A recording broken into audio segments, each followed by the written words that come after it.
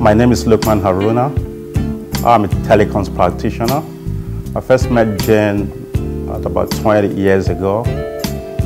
Uh, she was an intern. I've seen Jane grow from field engineer to a top executive.